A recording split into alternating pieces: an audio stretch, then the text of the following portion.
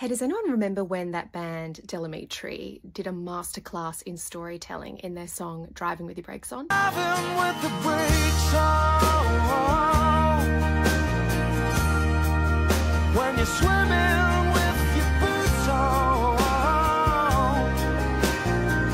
This song has an amazing ability to use that extended metaphor of driving to be the metaphor for life.